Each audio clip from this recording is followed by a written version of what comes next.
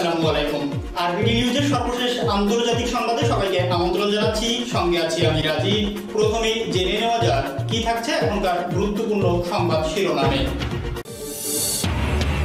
ইসরায়েলের সাথে আমিরাত ও বাহারাইনের সম্পর্কের এক বছর, যেভাবে ধরা খেল আমিরাত ও বাহারাইন। তালেবানকে নিয়ন্ত্রণ নয়, উৎসাহিত করুন বিশ্ববাসীকে বলছে পাকিস্তানের প্রধানমন্ত্রী ইমরান খান। ইরানি তেল ট্যাঙ্কারের বহর প্রবেশ করল লেবাননে। ট্রেন থেকে ক্ষেপণাস্ত্র পরীক্ষার কথা জানালো উত্তর কোরিয়া। এবং সর্বশেষ থাকছে চীনের ক্রুটিযুক্ত ড্রোন কিনে বিপাকে পাকিস্তানের বিমান বাহিনী।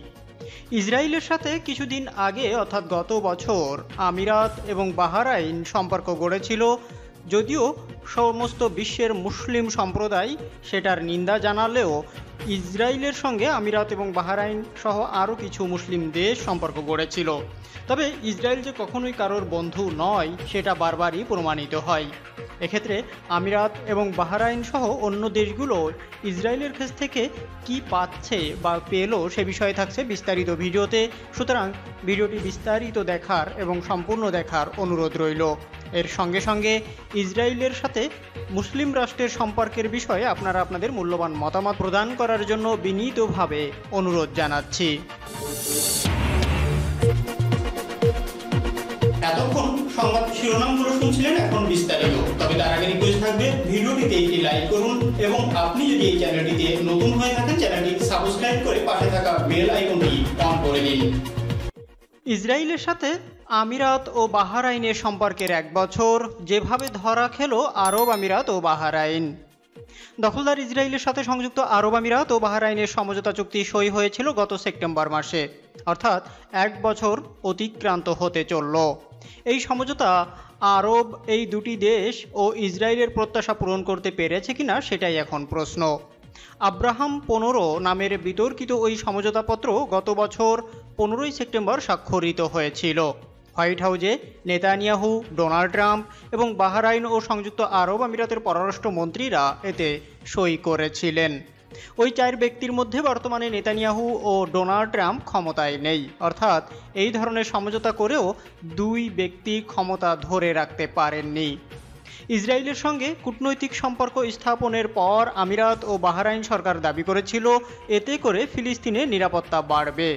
কিন্তু গত এক বছরের ঘটনাবলিতে দেখা গেছে তাদের এই দাবি ছিল সম্পূর্ণ মিথ্যা এবং লোক দেখানো। সম্প্রতি ফিলিস্তিনিদের ওপর ইসরায়েলি সামরিক আগ্রাসনই এর প্রমাণ। ইসরায়েলের সঙ্গে সমঝোতা করে এই অঞ্চলের মুসলিম জনগণের কোনো লাভ তো হয়নি, বরং ফিলিস্তিনিদের বিরুদ্ধে ইসরায়েলের দমন অভিযান বেড়েছে এবং ইসরায়েল আরও বেশি উদ্ধূত হয়ে উঠেছে। ইসরায়েলের সঙ্গে কূটনৈতিক সম্পর্ক স্থাপনের পর গত এক বছরে ইসরায়েলের বহু নাগরিক ও কর্মকর্তা বাহরাইন ও আমিরাত সফরে গেছেন। মানামা ও আবুধাবিতে ইসরায়েলের দূতাবাস উদ্বোধন করা হয় এবং ইসরায়েলেও ওই দুই আরব দেশের দূতাবাস স্থাপন করা হয়। কিন্তু প্রশ্ন উঠেছে, এতে এত কিছুর পরও আমিরাত ও বাহরাইনের প্রত্যাশা কি পূরণ হয়েছে?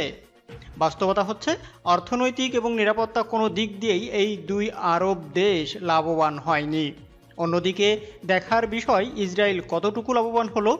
যদিও এই সমঝোতা ও কূটনৈতিক সম্পর্ক স্থাপনের কারণে আমিরাত ও বাহারাইনের সঙ্গে ইসরায়েলের সম্পর্ক জোরদার হয়েছে, কিন্তু অর্থনৈতিক ও নিরাপত্তা ক্ষেত্রে ইসরায়েলের বিপদ এখনও আগের মতোই রয়ে গেছে। এর অন্যতম কারণ হচ্ছে আরব বিশ্বে ইসরায়েল বিরোধী ক্ষোভ ও ঘৃণা তো কমেনি, বরং আগের চেয়ে আরও বেড়ে গেছে। তেল আবিব বিশ্ববিদ্যালয়ের ইসরায়েলের আভ্যন্তরীণ নিরাপত্তা বিষয়ক গবেষণা কেন্দ্রের এক প্রতিবেদনে বলা হয়েছে, আরব সরকারগুলোর সঙ্গে ইসরায়েলের সম্পর্ক স্বাভাবিক করার পথে সবচেয়ে বড় বাধা হচ্ছে আরব জনগণ। কারণ আরব জনগণ ইসরায়েলের সঙ্গে সম্পর্ক স্বাভাবিক করার প্রচণ্ড বিরোধী। মিশর ও জর্দানের ঘটনায় এর প্রমাণ। ইসরায়েলি ওই গবেষণা কেন্দ্রের প্রতিবেদনে আরও বলা হয়েছে, কয়েকটি আরব দেশের সাথে শান্তি চুক্তি কিংবা কূটনৈতিক সম্পর্ক স্থাপন করেও ইসরায়েলের নিরাপত্তা সংকট এখনও দূর হয়নি। ইসরায়েলের রাজনৈতিক বিশ্লেষক গেইল কোহেন তেল আবিব সরকারের একটি সূত্রের উদ্ধৃতি দিয়ে বলেছেন, কয়েকটি আরব দেশের সঙ্গে সম্পর্ক স্থাপন করেও ইসরায়েল এ থেকে খুব একটা লাভবান হতে পারেনি। এর অন্যতম কারণ শুধু এটা নয় যে যুক্তরাষ্ট্র ও ইসরায়েলের মন্ত্রিসভায় পরিবর্তন ঘটেছে, বরং মূল কারণ হচ্ছে এই অঞ্চলের জনমত প্রচণ্ডভাবে ইসরায়েল বিরোধী হয়ে উঠেছে। তালেবানকে নিয়ন্ত্রণ নয়, উৎসাহিত করুন, বিশ্ববাসীকে বলছেন পাকিস্তানের প্রধানমন্ত্রী ইমরান খান। পাকিস্তানের প্রধানমন্ত্রী ইমরান খান বলেছেন, বিশ্ববাসীর উচিত আফগানিস্তানের তালেবানকে উৎসাহিত করা, তাদেরকে নিয়ন্ত্রণের চেষ্টা ঠিক হবে না। তিনি সতর্ক করে বলেন, আফগানিস্তানকে বাইরে থেকে নিয়ন্ত্রণ করা যাবে না। মার্কিন টেলিভিশন চ্যানেল সিএনএন এর কন্ট্যাক্ট দ্য ওয়ার্ল্ড অনুষ্ঠানকে দেওয়া সাক্ষাৎকারে ইমরান খান এসব কথা বলেন।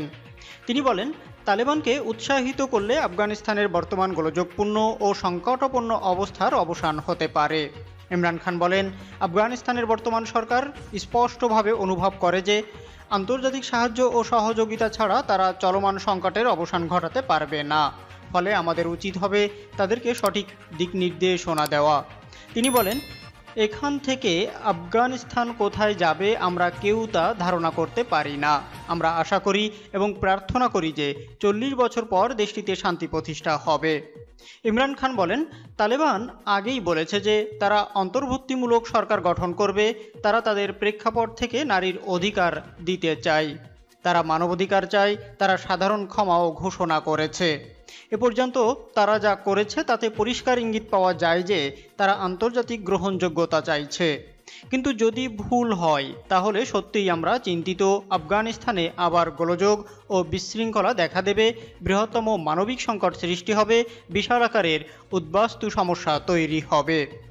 আফগানিস্তান আবার অস্থিতিশীল হবে এবং আফগান ভূখণ্ডে সন্ত্রাসবাদ মাথা চাড়া দিয়ে উঠতেও পারে। ইরানি তেল ট্যাঙ্কারের বহর প্রবেশ করল লেবাননে। ইসলামী প্রজাতন্ত্র ইরান থেকে পাঠানো জ্বালানি তেল অবশেষে লেবাননে পৌঁছেছে। ইরানের ইংরেজি ভাষার satellite television channel press TV বৃহস্পতিবার এক প্রতিবেদনে জানিয়েছে সিরিয়ার সমুদ্র বন্দর থেকে ট্যাঙ্কারে করে স্থলপথে এইসব তেল লেবাননে নেওয়া হয়। লেবাননের গণমাধ্যমও জানিয়েছে, ইরানের তেল বহনকারী ট্যাঙ্কারের বহর লেবাননের উত্তর পূর্বাঞ্চলীয় বালবেক হারমেল প্রদেশের হাওয়াস আল শায়েদ আলী এলাকা দিয়ে লেবাননে প্রবেশ করে। এর আগে হিজবুল্লাহ মহাসচিব সাইদ হাসান নাসিরুল্লাহ জনগণের প্রতি তেল বহনকারী ট্যাঙ্কার বহরের কাছে ভিড় না করার আহ্বান জানিয়েছিলেন। তিনি বলেছিলেন, লোকজনের নিরাপত্তা এবং ট্যাঙ্কারের বহরের স্বাভাবিক চলাচল যাতে বিঘ্ন সৃষ্টি না হয়, এজন্য ভিড় এড়াতে হবে। এর আগে হিজবুল্লাহের উপ মহাসচিব শেখ নাইম কাসিম বলেছিলেন, মার্কিন নিষেধাজ্ঞার মুখে ইরান থেকে তেল পাঠানোর ঘটনা রাজনৈতিক, সামাজিক ও নৈতিক দিক দিয়ে ইরান এবং হিজবুল্লাহের জন্য বিশাল অর্জন। আগস্ট মাসের মাঝামাঝি দিকে ইরান থেকে তেলবাহী জাহাজ লেবাননের উদ্দেশ্যে রওনা হয়। হিজবুল্লাহ মহাসচিব হাসান নাসরুল্লাহ তেলবাহী জাহাজকে সমুদ্রে লেবাননের ভূখণ্ড হিসাবে ঘোষণা করেছিলেন। তিনি এই বক্তব্যের মধ্য দিয়ে মূলত ইসরায়েল ও আমেরিকাকে সতর্কবার্তা দিয়েছিলেন। ট্রেন থেকে ক্ষেপণাস্ত্র পরীক্ষার কথা জানালো উত্তর কোরিয়া। উত্তর কোরিয়া গতকালের ক্ষেপণাস্ত্র পরীক্ষা চালানো হয়েছে ট্রেন থেকে। উত্তর কোরিয়ার রাষ্ট্রীয় গণমাধ্যম কেসিএনএ বৃহস্পতিবার এই তথ্য জানিয়েছে। এতে বলা হয়েছে, ক্ষেপণাস্ত্র দুটি উৎক্ষেপণের পর সেগুলো আটশো কিলোমিটার দূরে উত্তর কোরিয়ার পূর্ব উপকূলে গিয়ে পড়ে। ক্ষেপণাস্ত্রবাহী রেল রেজিমেন্ট এই পরীক্ষা চালিয়েছে। চলতি বছরের শুরুতেই রেজিমেন্টটি গঠন করা হয়। উত্তর কোরিয়ার সেনা কর্মকর্তা মার্শাল পাক জংচো এর বরাত দিয়ে কেসিএনএ জানায়, দেশটির জন্য হুমকি হয়ে দাঁড়ানো যে কোনো শক্তিকে মোকাবেলা করতে এই ক্ষেপণাস্ত্র ব্যবস্থার নকশা করা হয়েছে। এর পরিসর আরও বাড়ানোর পরিকল্পনা রয়েছে। এছাড়া ক্ষেপণাস্ত্রের কিছু ছবি প্রকাশ করেছে উত্তর কোরিয়া। সেগুলো দেখা যায়। দেশটির পার্বত্য অঞ্চলে দাঁড়িয়ে থাকা ট্রেন থেকে একটি ক্ষেপণাস্ত্র ছোড়া হচ্ছে। ক্ষেপণাস্ত্র উৎক্ষেপণের মধ্য দিয়ে এক সপ্তাহেরও কম সময়ের মধ্যে দুইবার নতুন ধরনের ক্ষেপণাস্ত্রের পরীক্ষা চালালো উত্তর কোরিয়া। এর আগে গত সোমবারই নতুন একটি দূরপাল্লার ক্রুজ ক্ষেপণাস্ত্রের পরীক্ষা চালানোর খবর প্রকাশ করে কেসিএনএ। ওই ক্ষেপণাস্ত্র এক হাজার পাঁচশো কিলোমিটার বা নয় শত তিরিশ মাইল দূরের লক্ষ্যবস্তুতে আঘাত হানতে সক্ষম বলে জানানো হয়। চীনের ক্রুটিযুক্ত ড্রোন কিনে বিপাকে পাকিস্তানের বিমান বাহিনী। চীনের তৈরি চালকবিহীন সশস্ত্র ড্রোন ক্রয় করে বিপাকে পড়েছে পাকিস্তানের বিমান বাহিনী, কারণ সেগুলো কোনো কাজে লাগানো যাচ্ছে না। এ বিষয়ে পাকিস্তান বারবার সাহায্যের আবেদন জানালেও সাড়া দিচ্ছে না চীন। ক্রুটিযুক্ত ওই তিনটি ড্রোন বানিয়েছে চীনের চেংদু এয়ারক্রাফট ইন্ডাস্ট্রি গ্রুপ এবং ড্রোন বিক্রি করেছে চীনের national aero technology import and export corporation. চলতি বছরের জানুয়ারিতে পাকিস্তানের বিমান বাহিনীতে তা অন্তর্ভুক্ত করা হয়। ড্রোনগুলো আকাশে ওড়ানোর কথা থাকলেও তা এখন ভূমিতেই পড়ে আছে। এর আগেও ড্রোনে ত্রুটি দেখা দেওয়ায় চীনের একটি প্রতিনিধি দল এসে সেগুলো মেরামত করেছিল। এবার ড্রোন মেরামত ও রক্ষণাবেক্ষণেও আরও প্রশিক্ষিত দল পাঠাতে অনুরোধ জানিয়েছে পাকিস্তান। তবে চীনের national aero technology import and export corporation এখনও সেই অনুরোধে সাড়া দেয়নি। চীন পাকিস্তানের মধ্যে বড় মাপের যে চুক্তি হয়েছে, তার অংশ হিসাবে এইসব ড্রোন ক্রয় করা হয়। ওই চুক্তির আওতায় পঞ্চাশটি ড্রোন নির্মাণ করা হবে পাকিস্তানে। জানা গেছে, তিনটি ড্রোনের দুটি জিপিএস সমস্যা পাওয়া গেছে, যা ড্রোনের পরিচালনায় সবচেয়ে গুরুত্বপূর্ণ। ড্রোনগুলো হস্তান্তরের সময় পাকিস্তান ও চীনের সামরিক কর্মকর্তারা জানিয়েছিলেন এইসব সশস্ত্র ড্রোন ভূমি ও আকাশে সুনির্দিষ্ট লক্ষ্যবস্তুতে আক্রমণ ও ধ্বংস করতে সক্ষম। এখন মারাত্মক ত্রুটি দেখা দেওয়ায় রীতিমতো বিপাকে পড়েছে পাকিস্তান। এতক্ষণ সঙ্গে থাকার জন্য ধন্যবাদ। দেখা হচ্ছে পরবর্তী ভিডিওতে। ততক্ষণ পর্যন্ত ভালো থাকুন, সুস্থ থাকুন। আল্লাহ হাফেজ।